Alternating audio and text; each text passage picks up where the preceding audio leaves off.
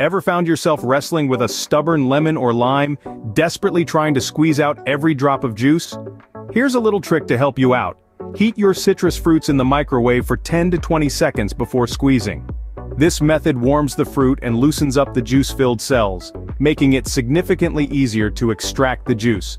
No more wrestling, no more juiceless halves, just pure, fresh, citrus goodness. It's a simple hack, but it can revolutionize your cooking and cocktail making game. So the next time you're faced with a stubborn lemon or lime, remember this trick. Microwave, squeeze, and enjoy the extra juice.